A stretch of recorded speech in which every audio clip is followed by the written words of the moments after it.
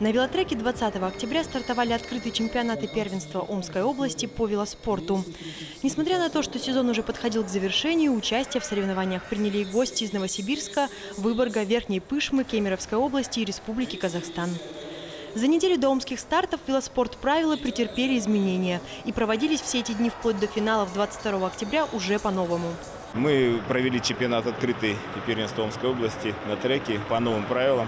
Раньше проводились гонки в программе «Омниум», шесть видов гонок проводилось.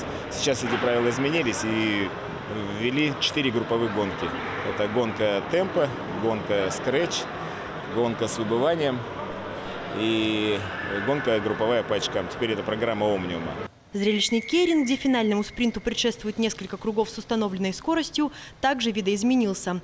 По новым правилам проходит жеребьевка. И теперь спортсмены движутся за лидером согласно вытянутому номеру. Проезжают дистанцию в три круга, после чего разыгрывают между собой спринтерский заезд. По словам экспертов, это уменьшает травматичность. Да и сами спортсмены усматривают в новых правилах только плюсы. Одним из факторов победы, правда, становится везением. Сегодня тебе повезло?